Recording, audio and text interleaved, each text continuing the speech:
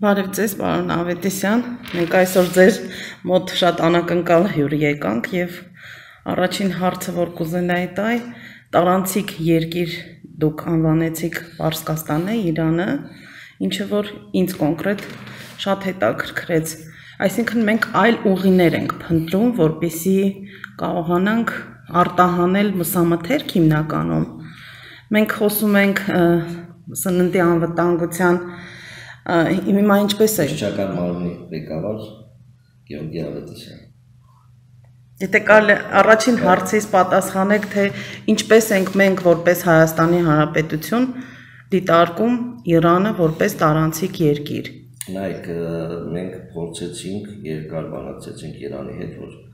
Իրանի տարածքը օգտագործենք կենթանի կենթանիների համար, կենթանի կենթանի արտահանելու վրա արգելքներ կային, բայց հիմա ոնց որ այդ այդ խնդիրը լուծվել է, մի քանի բյուրոկրատական հարց մնաց լուծելու, համասարական հաստատել համաձայնեցնենք, այսպես կոչված պարաֆինացնենք եւ արդեն տնտեսվարողները, ովքեր որ զբաղվում են կենթաների վաճառքով արաբական երկրներում, Իրաքում եւ Իրանի տարածքով հնարավոր անցորդ ճանապարհներով գնացող դեպի այդ երկրներում կարողանան ավելի մաչելի իրականացնել իրենց բիզնեսը եւ իրենց վաճառքը կենթանի կենթանիների մասով։ Այսինքն պահանջարկը կա, որ հենց Իրանի տարածքով անցնի եւ որ երկրները։ Պահանջարկը կա Իրանի տարածքով, որովհետեւ ուրիշ տարածք բազովես չունենք։ Թուրքիայի տարածքն է, որ ավելի դժվար կլինի ու Իրանը մեր բարեկամ երկիրն է, դրա համար Իրանի հետ ենք ուզում եւ ավելի կարճ եւ ավելի դյուրին տրանզիտ սարքենք մեր տնտեսվարողների համար, ուրեմն խոսքը վերգետնյա տարանցիկության մասին է, որովհետեւ միևնույնն է այն ճանապարհով տարբեր կենտրոնների մասին է խոսքը,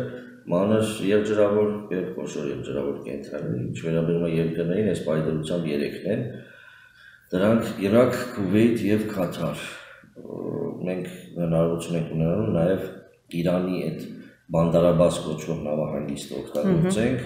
եւ այնտեղով դուրս գանք Պարսից ծոցով արաբական երկրներ, ինչպես նաեւ մեծ շուկա ունենք Իրաքի տարածքում, որ անընդհատ մեզնից ուզում են թե խոշոր թե մանր եւ ջրավոր կենտրոններ խոշոր այսինքն տավարի, հա, մասին է խոսքը։ Մենք ինչքան կարող ենք արտահանել այս պահին եւ ինչքան եք նախատեսում։ Այսինքն պահանջարկի մասով դուք հաշվարկ ունեք, թե ոչ։ Մենք ունենք հաշվարկ չունենք պահանջարկի մասով, ունենք վարչապետի հայտարարությունը Իրանում, երբ որ ասեց, որ կարող են 50000 ամսական մանր եւ ջրավոր կենտրոններ արտահանել Իրանի իսլամական հանրապետություն, այդ թիվը խելամիտ է, հաշվի առնելով նաև այն տնտեսվարողների եւ այն շարժը, որ սկսվեց, իզուր չէ այդ ասածը ոչ խալ պահեք, որովհետեւ իրականում դա դառնում գնալով դառնում է ավելի եկամտաբեր բիզնես եւ ներդնողներ կան, որոնց գալիս են մեզ ծրուցում են եւ ուզում են ոչխարաբուծությունը զարգացնել եւ այդ հետագա այդ կենթայիների արդեն արտահանեն դեպի Իրան, արաբական երկրներ, Իրաք։ Իդեպ Իսկ այս պահին դուք միտեղ ասացիք, կարծեմ ես վերջի շրջանում հենց ձեր գրառման տակ, որ դժվարություն է, որովհետև հաշվարկ չունեն կենտանիների։ Երբ է նայեք ոչ թե հաշվարկ, այլ համարակալում եւ հա, հաշվարկ։ Հաշվարկ բավապես կա, եթե նայեք Armstat-ը, հա, վիճակագրական ծառայության տվյալները, Մենք ունենք 639-ի մոտ 1000 գլուխ, հունվարի 1-ի դրությամբ, հա, 1000 գլուխ ուրեմն մանր երջերավոր կենթանիներ եւ տարեկան ապահովում ենք նաեւ այդ քաշաճը 1.5 գործակցում։ Իսկ ձեզ որպես նաեւ էկոլոգ ասեմ, որ ըստ մասնագետների հաշվարկի մենք հնարավորություն ունենք Հայաստանի տարածքում 1.2-ից 2 միլիոն ոչխար միջև պահելու առանց էկոլոգիային վնասելու։ Դա Արագածոտնի մարզնա Գեղարքունիքի էլ որ մարզերն եք նախատեսել, որ պետքա զարգացվի եւ Շիրակ, Վայոց ձոր, Սյունիք, ինչպես նաեւ Արցախ։ Կներեք իսկ Սյունիքի որ հատվածը, որտեվ Սյունիքը հանքարդյունաբերական խնդիրներ շատ ունի։ Սիսյանի տարածաշրջանի հատվածը։ Այդ ալպիական գոտիներում հիմնականում։ Այնտեղի գարը համել համով այդ է։ Հա։ Այդ ալպիական խոտից ելնելով երանակային պայմաններից ջրից եւ այլ մի քանի գործոններ է դրա։ Արագածոկն, Գևարքունիք, Շիրակ, Վայոց ձոր, Սյունիք, փաստացի ստացվում կոտայք նաեւ փաստացի ստացվում է բացի Արարատից եւ Արմավիրից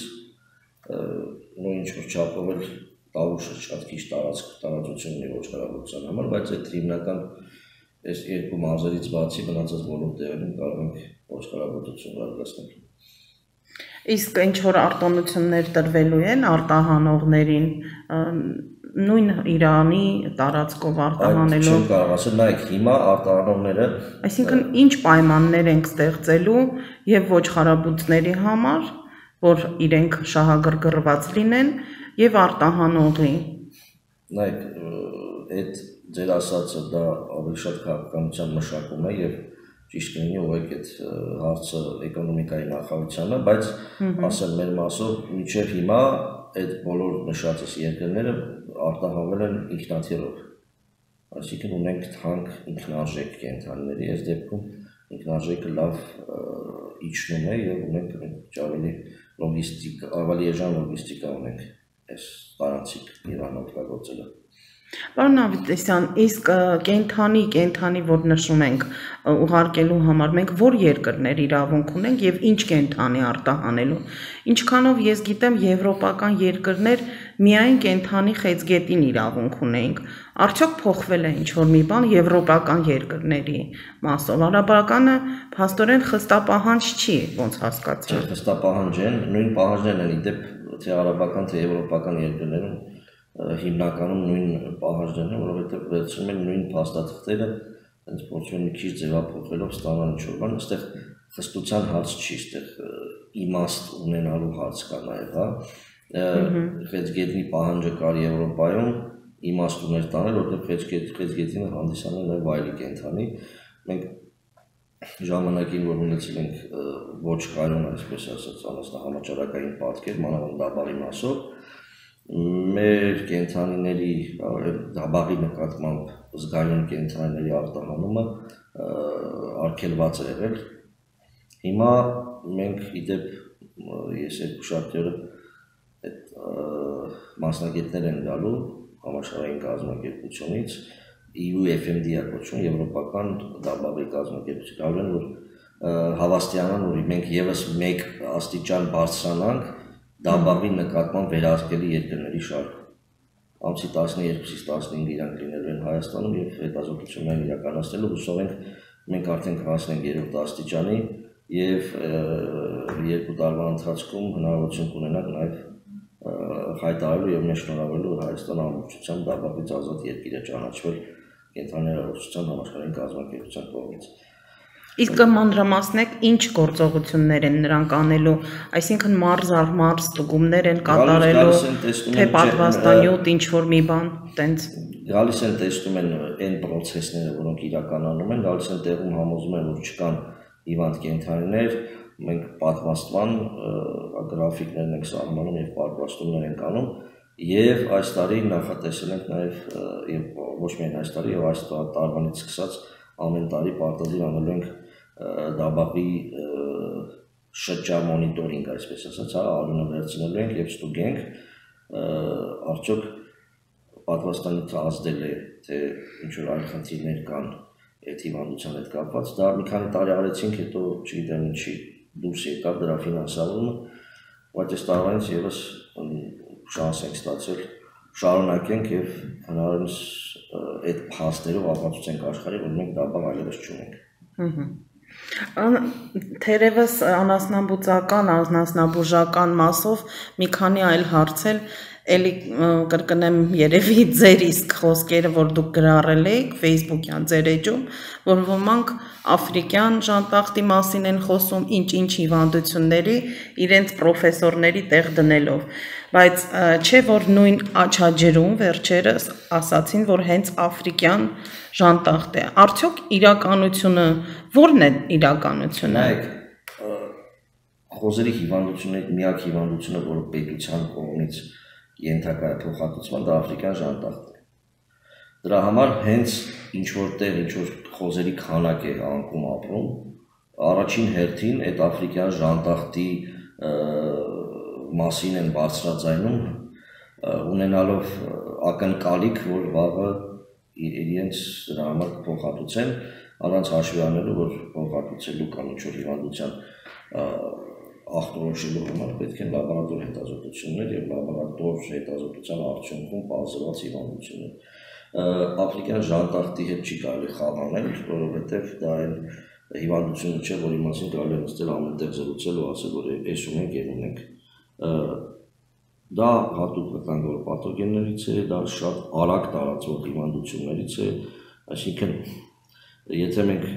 էլեմենտար մի հատ ցուցանիշ ասեմ, որ բաց լինի, եթե մենք ինչ-որ գյուղում ունենայինք բռնկում, հա,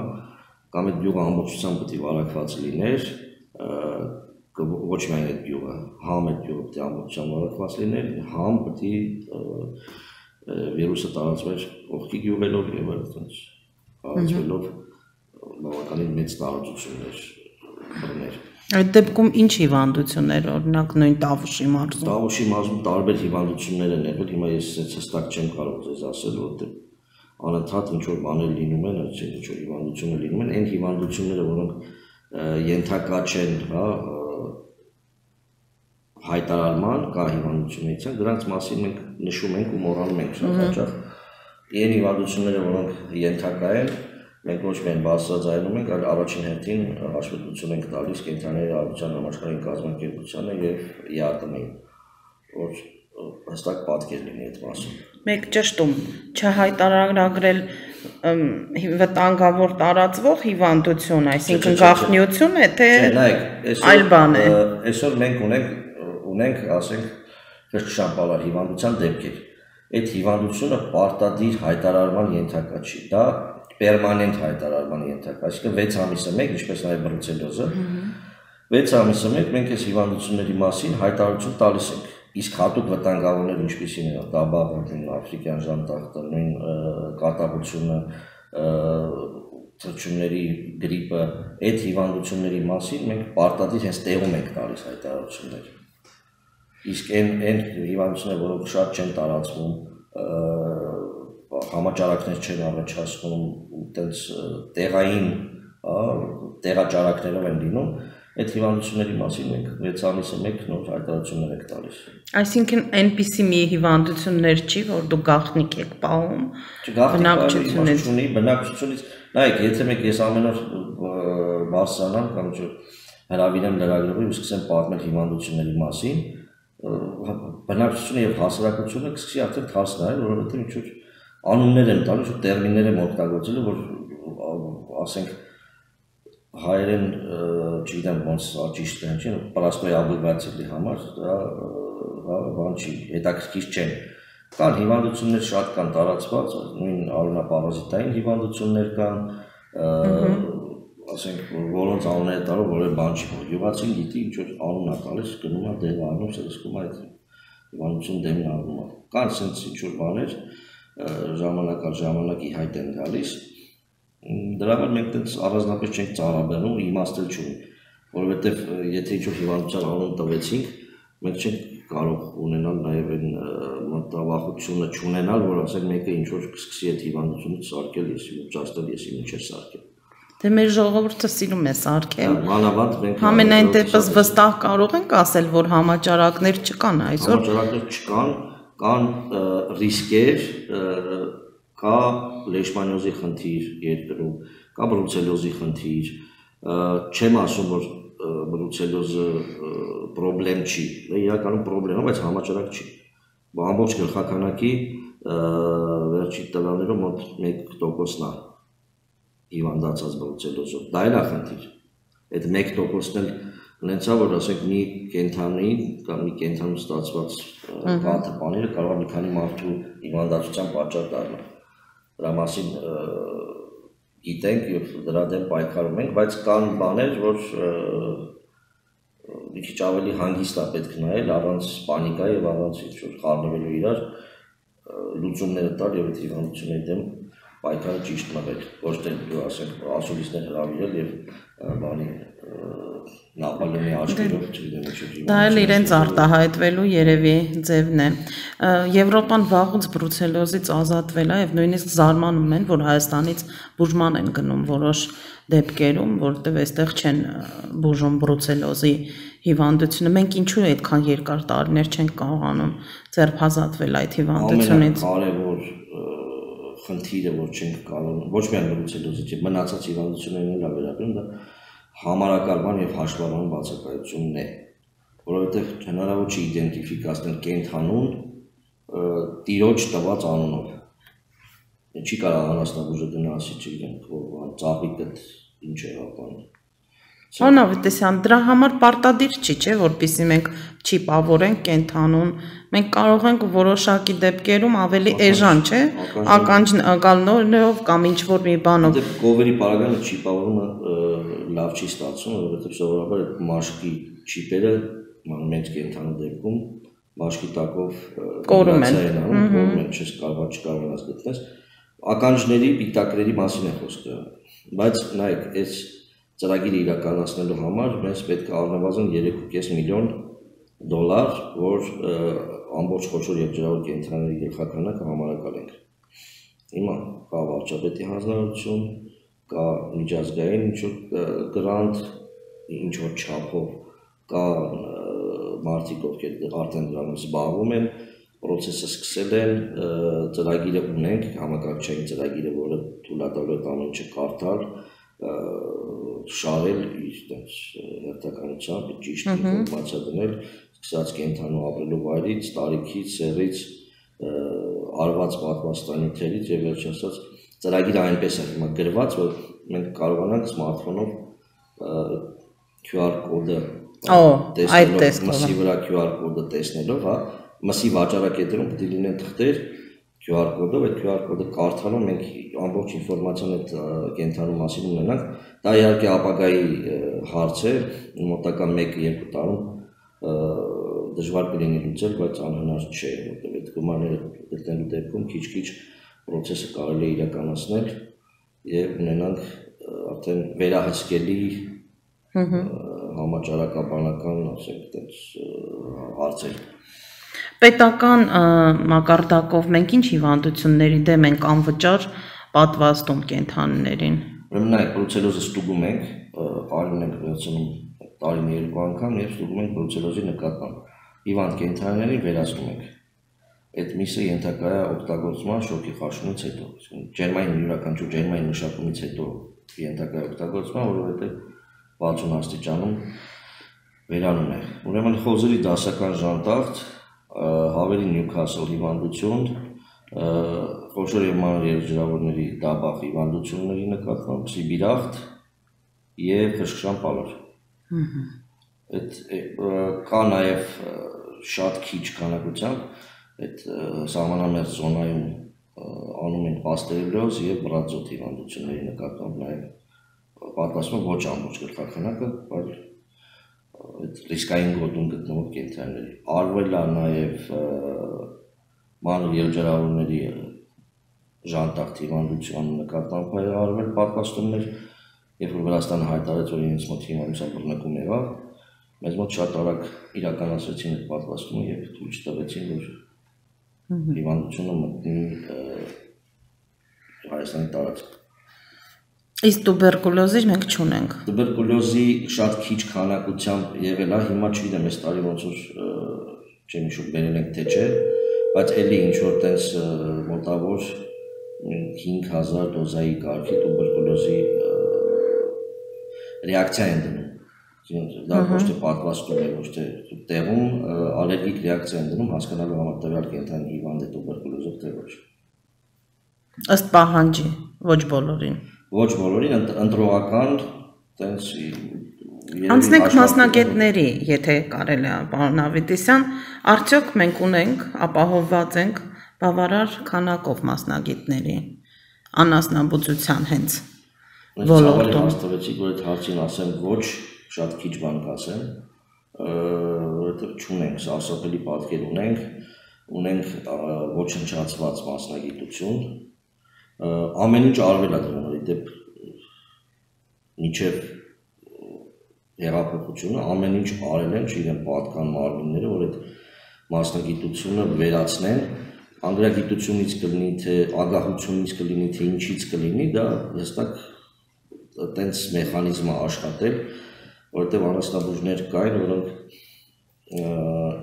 յոնոց ամսեկան աշխատավարձը կազմել է չգիտեմ 20000 դրամ, 30-40 միանց գլխականակից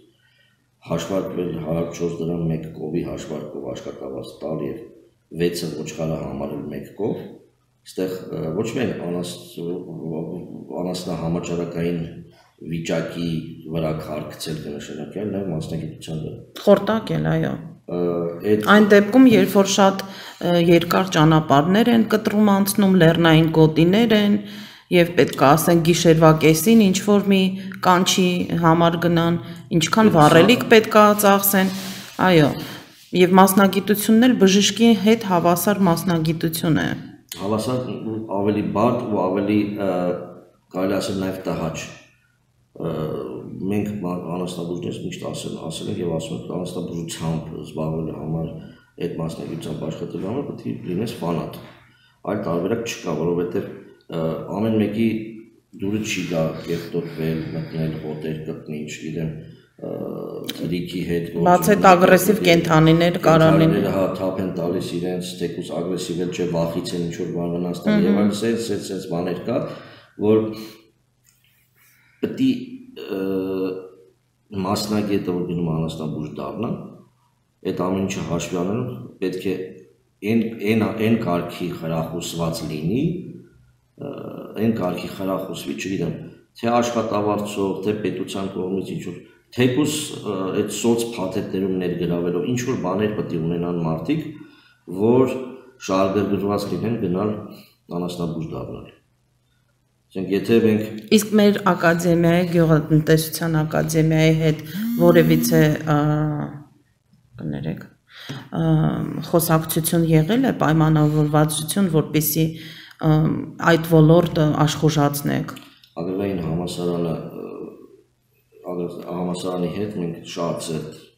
համագործակցություն ունենք բոլոր ոլորտներում։ Մենք նույնիսկ մի կաբինետ կահավորեցինք նորագույն լաբորատոր սարքավորումներով մեր մոտ Երևանիում ՀԲԼՑԿ պողակի տարածքում առաջի հարկում մի քանի սենյակ կահավորեցինք, որ ուսանողները հնարավորություն ունենան գան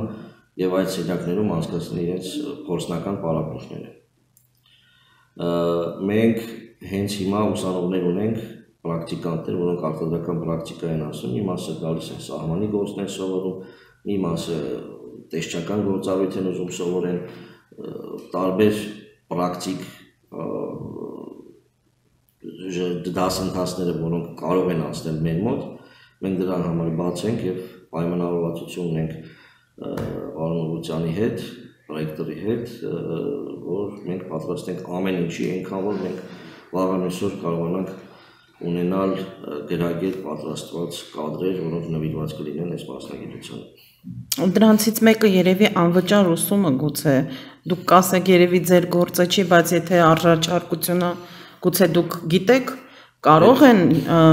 ցանկացողները, որոնք բավարար բալեր չեն հավաքի անվճարի, գոնե անվճար անցնել, եթե իսկապես այդ կարիքը կա։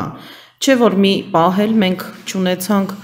արհեստագործական մասնագիտություններ, բոլորը գնում էին իրավաբաններ էին, ուզում դառնային բժիշկներ, բայց տեսանք ինչ կատարվեց։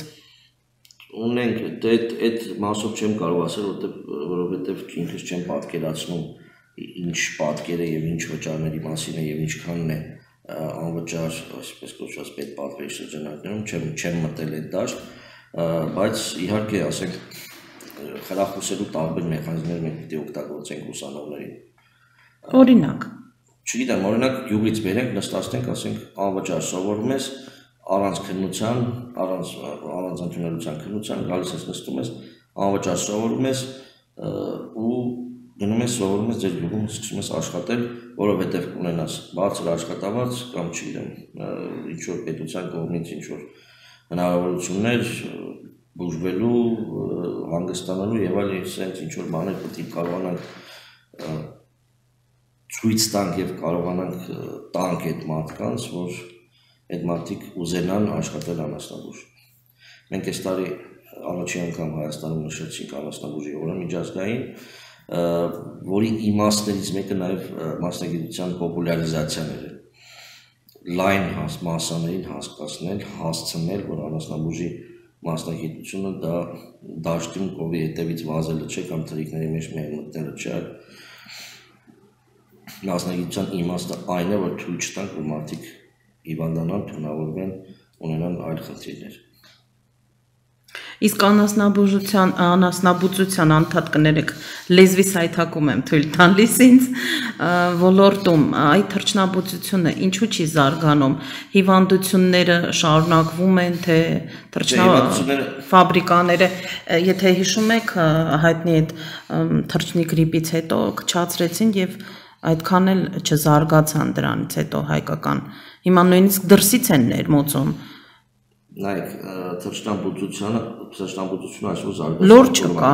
ես հարցում եմ արել գրեթե չկա շատ են քչացրել ինչի լորի ձուն օրինակ ես տեսնում եմ ինքս էլ եմ գնում լավ էլ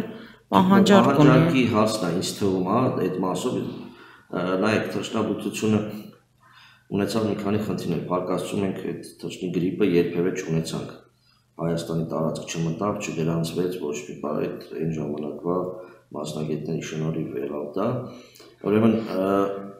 թրջնամուտությունը այս այսօրվա դրությամբ հասել է այն մակարդակի, որ ձվի շուկայում մենք ինքնաբավ ենք։ Այսինքն մենք ել ջու ներկրելու որևէ խնդիր չունենք։ Այսինքն 4-5 տարվա այդ խնդիրը լրացավ։ Այս անցած տարի թե նոր տարվա անցած նոր տարվա հատվածում որ ամենաշատ վաճառքի ժամանակահատվածն է։ Մենք չունեցանք որևէ խնդիր, եւ այս տարի զատիկի ժամանակահատվածում նույնպես քննի չունեցանք մենք ժամանակ առ ժամանակ հանդիպում ենք թշնամբույսների հետ իրենք մեզ խնդրում են մեր դահլիճում միջոցառումներ են իրականացնում մենք իրարից շփվում ենք թշնամբույսների միության նախագահան մեր հասարակական խորհրդի անդամներից է ակտիվ աշխատում ենք իրանց հետ այսօր մսի շուկայում խնդիր ունենք որ այսօրվա մեր բրոյլերի մսի արտադրությունը կազմում է մեր շուկայի 30-ից 40% տարբեր բարագնահատականներով բայց այդ այդ շուկաները ենք փորձում զարգացնենք այո հիմա դրսից բերում ենք մեկ օրեկան ճտեր այդ ճտերն ստեղ կերակրում են մեծացնում են 40-45 օրեկանում նոր մոդի են ենթարկում եւ հանում են շուկա Պարոն Ավետեսյան, մյուս թրջունների մասը ինչի չի զարգանում։ Նույն հնդկահավի, սագի, բադի։ Երևի պահանջարկի խնդիր։ Մեկանոր տարուն բոլորը առնում են, օրինակ հնդկահավը։ Ու վերջ։ Նայեք, այն ծավալի, որ մենք այսօր հավի միս եք սպառում, թրջնամասերից ամենահասանելի, այն հավի միսն, որևէ այլ միս չենք սպառում։ Ոչ հնդկահավ, ոչ բադ, ոչ ոչ ոչ սագ, ոչ մի բան երբ պահանջարկի ազգային սովորությունների եւ այլ այդպես ինչ որ հարցեր կա, իսկ բան չունենք ամերիկացիների տոնը ոնց է կոչվում Thanksgiving-ը Thanksgiving-ը չունենք, որ այդ այդ օրը դնեն բոլորը այդպես այդ մեծ քանակությամբ բաներ մորթեն հնդկահավեր, որ կարողանա աճացնենք եւ մեծացնենք։ Ես իդեպ ինքս փորձի համար վերցրել եմ եւ համառանոցում հիմա հնդկահավեր ենք աճացնում։ Սկզբում շատ հատ։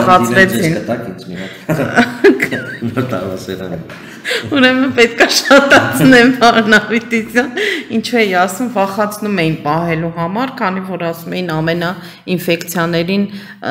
շատ նուրբ զգայուն թրջուն է, պետք է անդադ մարգանցով կա ջուր, յոդի ջուր տալ, բայց պետք է ասեմ, որ մեկ ամսվա ընթացքում թութութու թեկուս գլխներին օյններ հանեցինք, իրենք լավ մեծանում են Օրինակ դուք ինչ կասեք։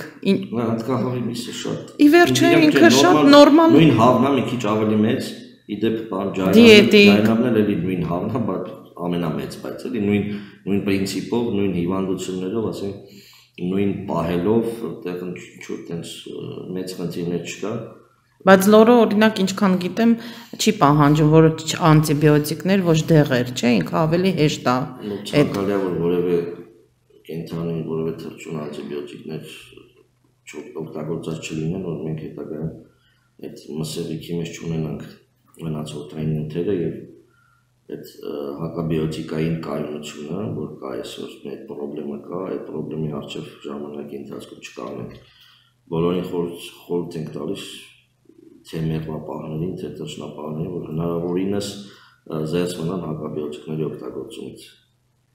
Իսկ մեր հոնք օգտագործում են թրջնաֆաբրիկաները։ Թրջնաֆաբրիկաներում նայեք մենք հիմա պայմանավորվածություն ցուցումների մեջ կա թե ոչ։ Չէ։ Թրջնաֆաբրիկաների մեծ մասը ասում են ոչ միայն հակաբիոտիկներ չենք օգտագործում, այլ դրա փոխարեն օգտագործում ենք պրոբիոտիկներ, որոնք ունեն ուսական կենտրոնական ցակում ու օրգան քիմիական ցակում չունեն օրգանիզմ չեն կուտակվում եւ այդ ազդեցությունը որ ունեն հակաբիոտիկները չեն ունենում հետագայում օրգանիզմի վրա բայց մենք պայմանավորվել ենք ծաշնաբույսների հետ որ տարին երկու անգամ մեր ուզած ժամանակահատվածում գնալու ենք նմուշարում անենք ծաշնաբույսարանից կամ սպանդի ժամանակ նմուշարում անենք գտանք այդ մսերիկում իրենց հաշվին ստուգենք հորմոնների եւ հակաբիոտիկների արկայությունը։ Մենք ունենք այդ հնարավորությունները լաբորատորիայում։ Լաբորատորիայի հնարավորությունները ունենք, անում ենք, մենք հեսա շուտով նաեւ ներգրվող մասի շուկայում կանենք այդ հետազոտությունները բայց Պարոն Ավետիսյան, եթե մենք ունենք, այս վերջին շրջանում իհարկե դուք տեղյակ եք արագիլների պատմությունը։ Այդ դեպքում ինչու են ասում, որ օրինակ բնապահպանության տեսչությունը չունի այդ հնարավորությունները, չէին կարող ձեզ դիմել, որpիսի դուք ստուգումները կատարեք, որ ջրային ավազաններում ձկան ձկնահարություն, իրավական դաշտ եւ հացի լուծումներ։ Այսինքն մենք ունենք լաբորատորիա, որ փողակը, որը մեր ենթակայության տակ է, այդ լաբորատորիան ունի հնարավորություն շատ բաների, բայց հավատարմագրված է միայն կոնկրետ ինչ որ բաներ անելու համար։ Այսինքն այլ բան անելու եւ այլ արդյունք ստանալու համար, հա, տվյալ բանի հետ կապված արդյունք ստանալու դեպքում մենք հնարավորություն չունենք տալու փաստաթուղթ, որը կլինի արբիտրաժային կամ որի վիճարկելիության խնդիր չի լինի։ Հա, այս դեպքում միևնույն է պետք է քրեական գործ վարույթ սկսեին նոր։ Այս այս դեպքում արդեն տային իրավաբաններ չունենք անելու, որովհետև մենք հավատարմագրված չենք այդ մասով, ու այդ լաբորատորիան եթե տվեց ինչ որ հանահայտ տամբերել այդ նյութի մեջ այդ թուղթը առողջի չարինելու Ընդամենը յուղի ճենջի ստրուկտուրայի մասին էր խոսքը։ Մենք խոսացինք, թե մարզպետի հետ շփվեցինք այդ մասով, թե բնապահպանական տեսչական մարմնի ղեկավարի հետ, եթե վերաբերվել հա կենթանական կամ բուսական ցակման յուղի հայտնաբերմանը, մենք դա լաբորատոր հետազոտության կհայտնաբերենք։ Հիմա այտենց չեմ կարող ասել հստակ ինչա ինչի է բերել եւ ինչի է հանգեցրել եւ ինչի է այդ յուղը հայտնվել արագիլների վրա չեմ հետևել այս վերջին մի քանի օր այդ process-ներին, բայց Ջրային կոմիտեն ինքը հնչեցրել է, որ ձկնաբուծարանների աշխատանքի հետևանքն է։ Ես չեմ պատկերացնում, ինչ աշխատանք պետք է անի ձկնաբուծարանը։ Փորոտի քթափի հոսող ջրի մեջ։ Հա, հոսող ջրի մեջ։ Ու այդ փորոտիկից առաջ կանալների մեջ։ Այդ կարգի տենց բան։ Վաղը մենք գնալու ենք նկարելու ենք դա եւ ուրիշներն է նկարել են թրջնաբանները եւ բնապահպանության տեսչությունը այդ հատվածները բայց դրանից հետո երբ որ տեսչությունը գնացել է սեփականատերը կամ ինչ ասենք բիզնեսմենները փակել են այդ ճանապարհները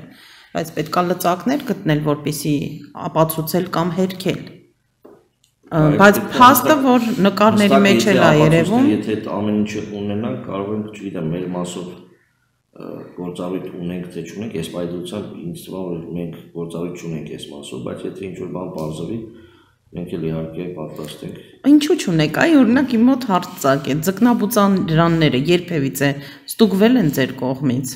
Թեկուզ անվտանգ ավարտել ձկնաբուծանների բանի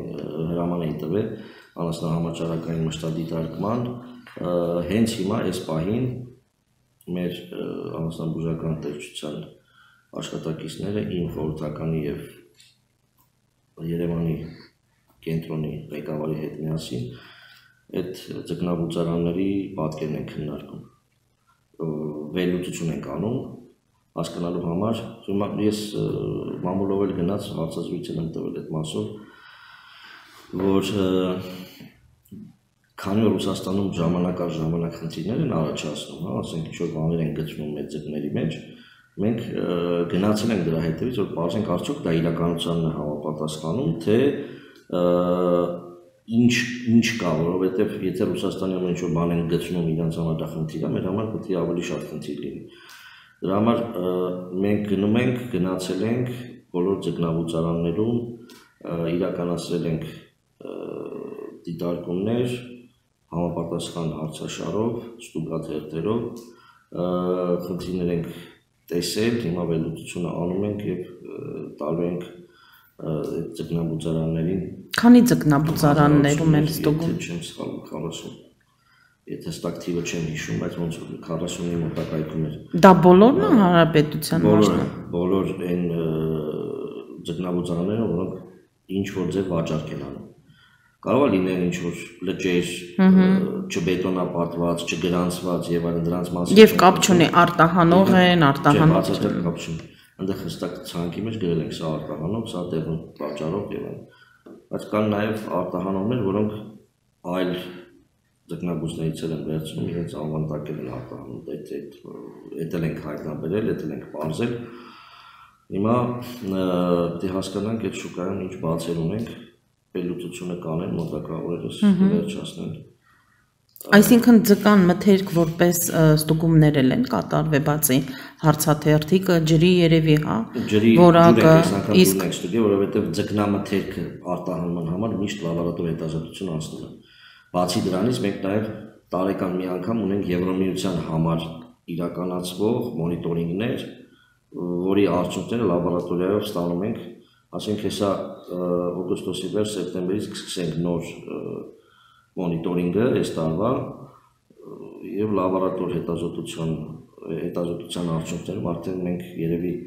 կբանակցենք այս տարի կամ մաքսիմում եկող տարի կբանակցենք Եվրոպայի հետ կան արտահանումը Եվրոպա բացելու համար։ Մեղր արեցինք նույն կներեք կենթանի ձկանմասն է խոսքը։ Չէ։ Ուղակի մտել կապ չունի։ սառեցված կամ ստացած, սառեցված, պաղեցված։ Ահա։ Ընդհանրապես այն ինչ որ հիմա Ռուսաստան արտահանում։ Իսկ ձկնկիթի ու եթե եթե հետնա լինելու, որովհետև ինքը ընդհանուր տենց ձկնամթերք գաղափարն ենք բացել էլի Եվրոպայի հետ։ Եվ ձկից ստացած ամեն ինչ։ Մեղրի մասով ունենք արդեն այդ որոշումը, մոնիտորինգները նույն ձև արել ենք մեղրով եւ մեղրի արտահանելու հնարավորություն կա դեպի Եվրոմիություն։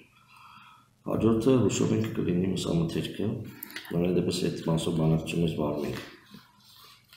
Դե կարևորը մթերքը լինի, ապրանքը լինի, մնացածը դուք կանեք, ոնց հասկացա, լավ գործին տենց վերցրել եք։ Ուզում եմ ճշտեմ ձկնկիթի հետ կապված, մենք տարեկան ինչքան եւ ուր ենք արտահանում։ Սև, կարմիր ձկնկիթ։ Պետք է ասեմ բերի այդ տվյալները, որտեղ sense չեմ կարող ասել հստակ։ Ինչի եմ հարցնում, որովհետեւ ինչքան գիտեմ, սև ձկնկիթը եւ ասետրինան ոնց է թառապ հայերեն ասեմ սա բանն է հատուկ փաստաթղթով է սա կամ լենայի թառապն է այս տեսակը որ մեր մոտ կա սրանց ազյորն է ասյոտը չի դի չելենսկին լենա գետից ըհը սրանց սև Սիտես պետք չի այդ դիմասով, որովհետեւ սահմանապատում չկա, սրանք չեն բան չի, բան տակ չեն Կարող եմ ասել, մեր հարցազրույցի վերջում այդ տվյալները տան, ինչքան են արտահանում եւ հիմնականում Ռուսաստանը գնում։ Հա, եթե դժվար չի, Եվ կարող ենք անցնել բույսերի հետ կապված, մենք ոնց որ վերջին շրջանում այդքան ակտիվ բույսերի հետ կապված խնդիրներ, բաներ չունենք, հա, թե ինձ ա թվում։ Խնդիրներ ունենք, միշտ ունենք։ Թե չեք հնչեցնում, փակ եք պահում։ Ես վերջերս երևի չեք տեսել, էլի Facebook-յանի մեջում կար, խոսել ենք այդ ֆաուն միշտ միշտ հայրենը մոռանում, հա Պարենի եւ գյուղատնտեսության կազմակերպությունը որ կա մի հատ Դե կան համապավումներ արտասահմանյան որ ասած Բարնի եւ գյուղատնտեսության կազմակերպությունը կազմակերպել էր միջոցառում նվիրված ֆիլոքսերային այդ միջոցառման պատիվ ունեցա բացման խոսքով ելույթ ունենալ կա խնդիրը կա աշխատում են ֆիլոքսերայի մասով էլ կա պամիդորի ցեցի մասով ենք աշխատում բավականին ինտենսիվ կան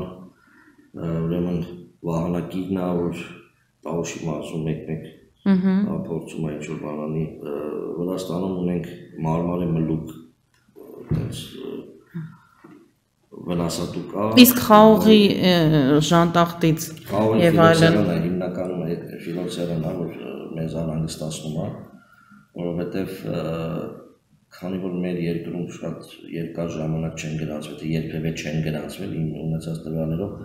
2009 թվականից նոր Արարատի Արարատի դաշտավորում հայտնվեց այդ հիվանդությունը, որը էնդեմիկ էր հյուսիսային ջերմերով հարավային Ամերիկայի համար։ Հիմա այդ հիվանդությունը կա եւ այդ հիվանդության դեմ պայքարի միջոցներ պետք է ձեռնարկենք, որ մեր էնդեմիկ խաղողները, որոնք չեն տեսել դա, չվնասենք եւ չոչնչացնենք։ Կան ինչ որ պայքարի եղանակներ, որ մորով վաստակետներ զբաղվում են եւ անում են։ Իդեպ ինչ վերաբերում է բույսերին, մենք որոշել ենք եկող տարի, քանի որ ՄԱԿ-ը հայտարարել է բույսերի առողջության տարի համաշխարհային, մենք որոշել ենք ամբողջ տարին նշենք եւ ամբողջ տարվա ընթացքում ինչ միջոցառումներ իրականացնենք կապված բույսերի պաշտպանության եւ բույսերի առողջության հետ հենց ձեր գալուց երևի մի ժամ առաջ նամակներ ուղարկեցի այդ IPPC-ն է, բույսերի պաշտպանության համաշխարհային այդ կոնվենցիան է, FAO-ն է, նույն ՊԳԿ-ն եւ ստեղի ՄԱԿ-ի գրասենյակ նամակներ ուղարկեցի, որ մենք sense միջոցառում ենք ուզում իրականացնենք 2020 թվականին եւ ուզում ենք մեզ աջակցեն, մենք ունենք նախնական տենց բանավոր մոտավոր տենց հավաստիացում իրանց կողմից, որ աջակցություն կլինի հիմնական խորհրդատվության կարգով։ Ֆինանսական ֆինանսական ավելի շատ, հա, որ մենք կարողանանք այդ բոլոր միջոցառումները անենք։ Հիմա չեմ ուզենա խոսել, ցանկամբողջական չկա, բայց այդպես հետաքրքիր միջոցառումներ ենք ուզում իրականացնել ամբողջ տարվա ընթացքում կապված բույսերի պաշտպանության հետ եւ արդեն հրաման եմ տվել ստեղծել ենք հանձնաժողով, որը կզբաղվի այդ աշխատանքներով եւ եւ հույս ունենք այդ նամակներից մեկում նաեւ խնդրել ենք IPPC ղեկավարությանը որ եկող տարի տարածաշրջանային համաժողովը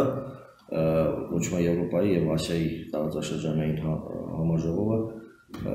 կայանա Երևանում փորձենք ավելի բարձրաստիճան պաշտոնյաներ նաեւ ներգրավել։ Սպասում ենք նամակով դիմեցինք եւ սպասում ենք իրենց պատասխանին հուսով ենք ունենանք դրական պատասխան եւ եկող տարի Հայաստանը կլինի ուսերի առողջության այդ տարվա միջոցառումների դրոշակակիր, այսպես ասած։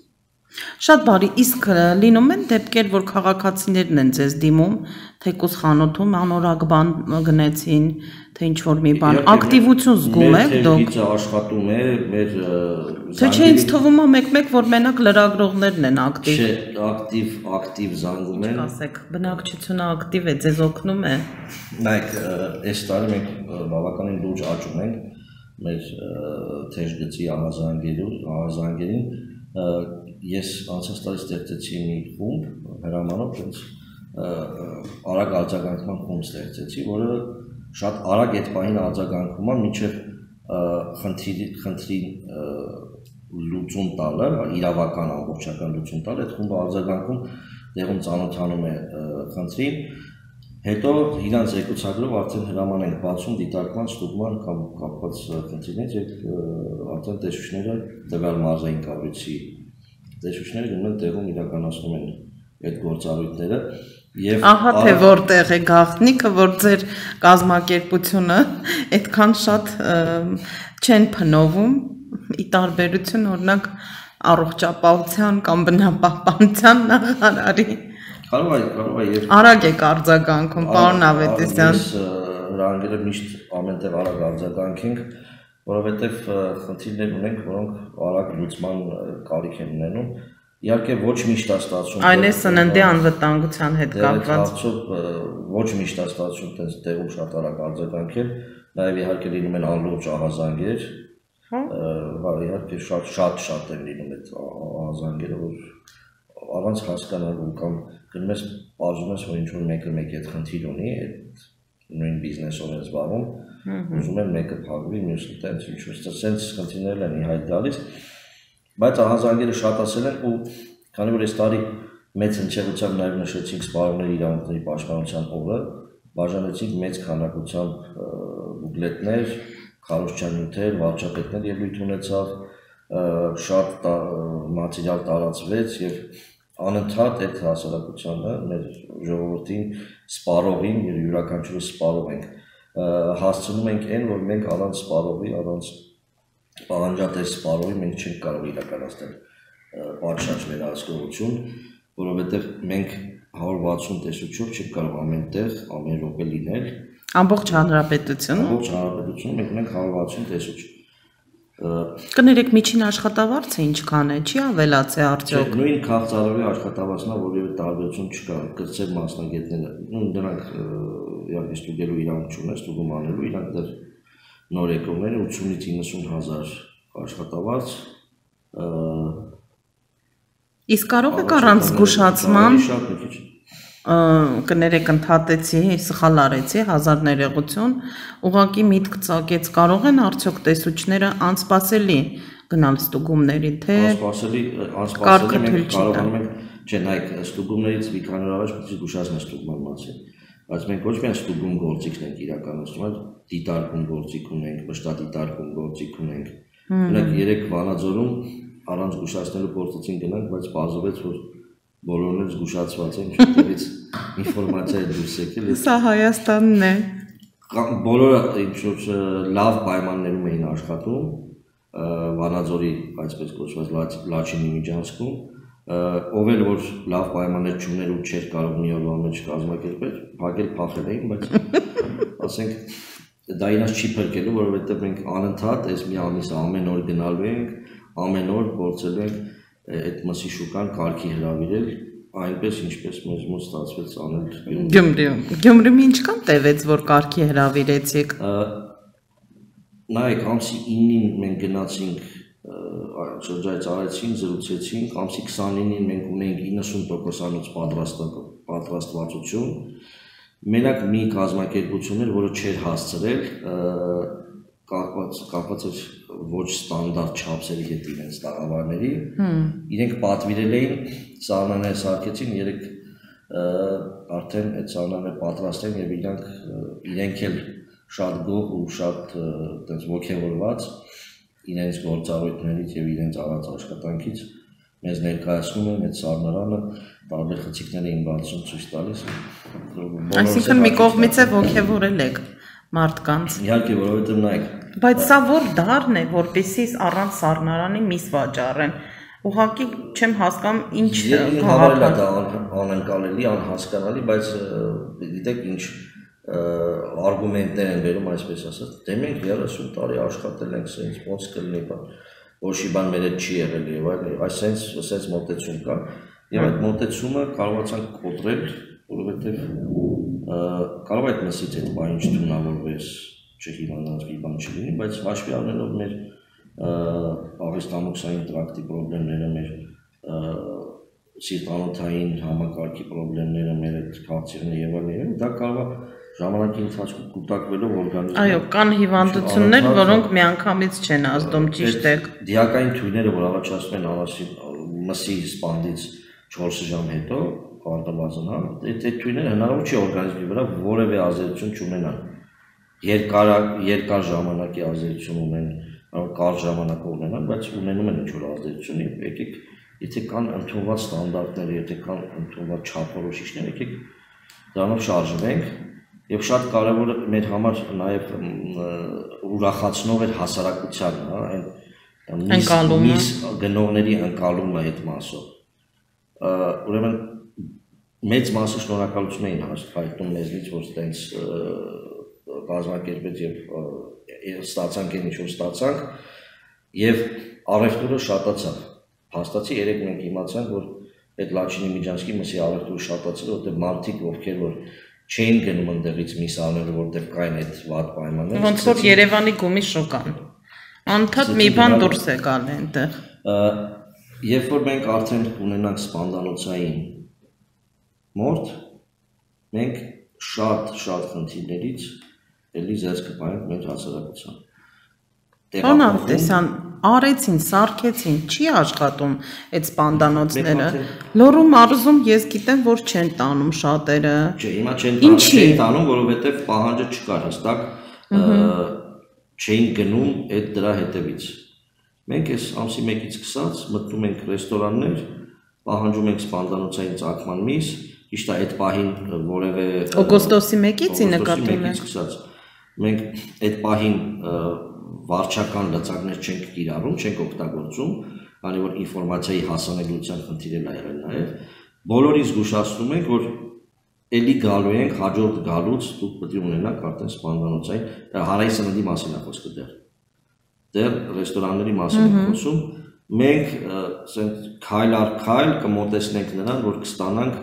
սպանդանոցներ, ներողություն, սպանդանոցային ցակման մսեղի քարային սննդի կետերում եւ այդ հանրային սննդի կետերը նաեւ կսկսեն թելադրել այլ շուկայի կետերի, նույն ձեր ասած գումի շուկային, կսկսեն թելադրել եւ իրենցից պահանջել սպանդանոցային ցակման միս, որովհետեւ իրենք իրանց մսեղիկը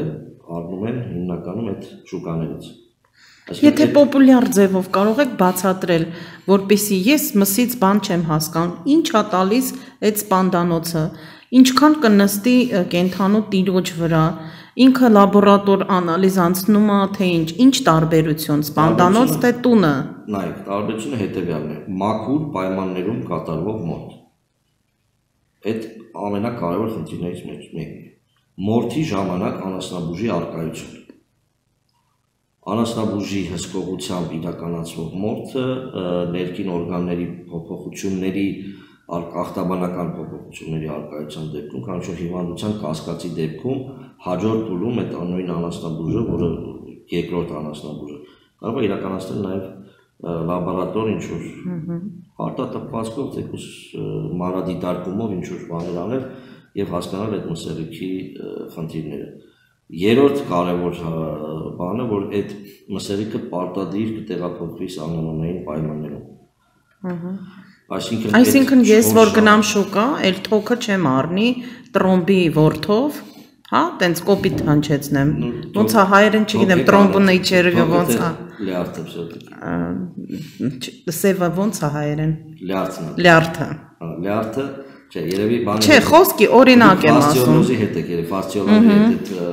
անոթները որ բացում եք մեջ։ Այո, անոթների Մեջի դա ֆաստիոլաներն է, այդ դրան հասնելը մի քիչ ավելի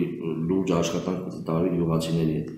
Դրա լուծման շատ հեշտ ձև կա։ Խայտարակությունն է այդ այդ հատվածում, ասեմ։ Շատ շատ հեշտ ձև կա, պարզապես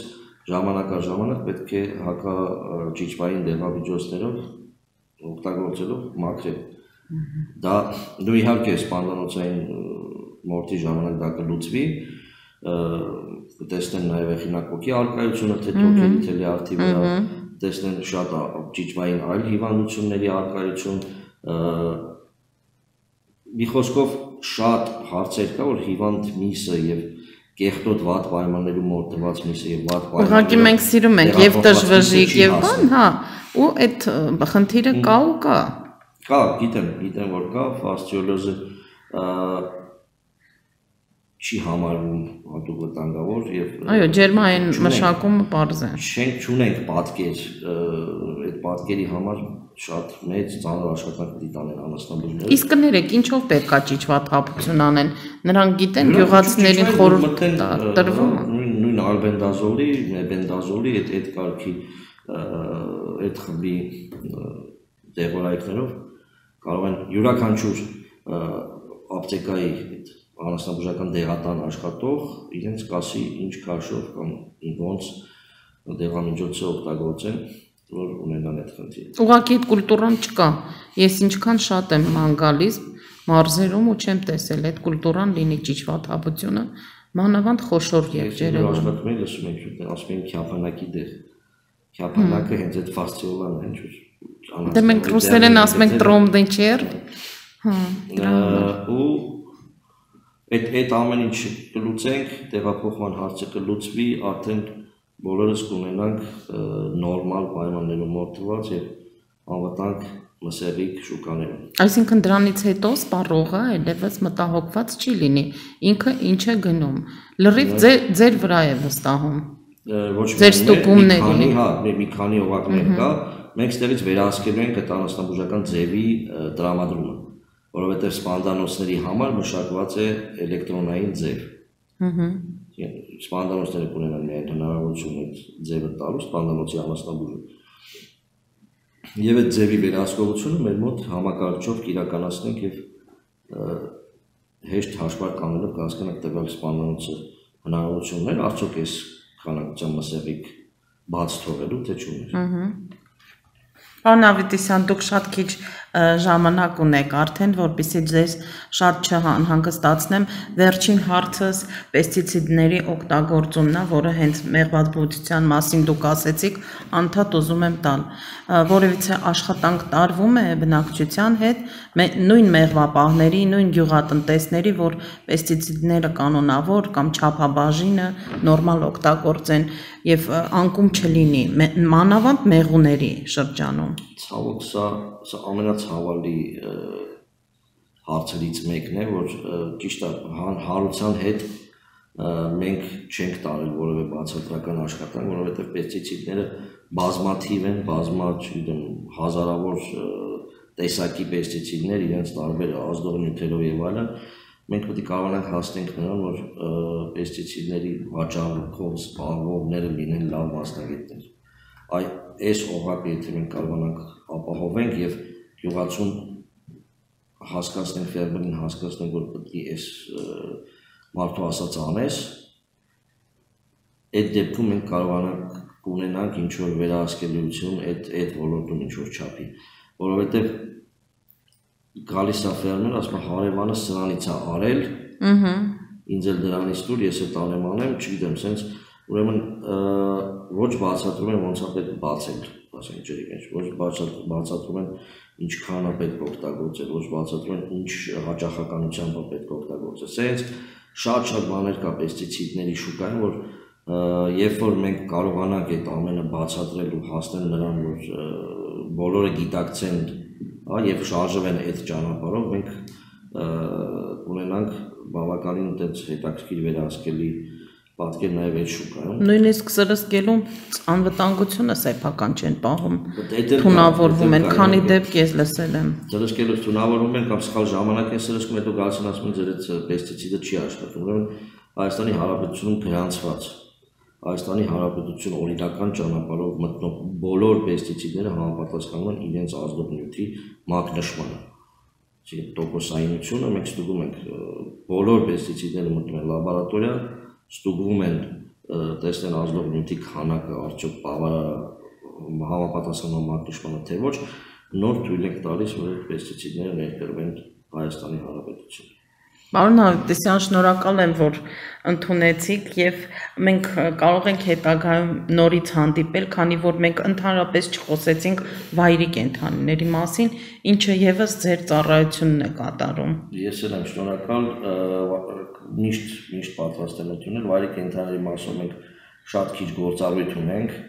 ու գրեթե չենք զբաղվում, եթե խոսքը չի գնում, հա, արդյոք վտանգավոր հիվանդությունների տարածման եւ ներկրման եւ արտահանման մասում են գրեթե չենք զբաղվում շատ-շատ կարող է համագործակցելով կենտրոնամանական այգու հետ ինչ որ խնդիրների լուծում տանք բացի այդ մենք ունենք միակ կարանտինային վայրը, որը ընդհանրապես կենթանաբանական այգում չի, այլ զոոֆաունայի մասն է խոսքը, Լավ, եթե կուզեք խոսենք, եթե չեք ուզի չենք խոսի։ Շնորհակալ եմ, հաջողություն եմ մաղթում։ Ինձ թվում է, եթե չեք դեմ չեք լինի, շարունակական թող լինի մեր հանդիպումը։ Ստեսություն։ Հաջողություն։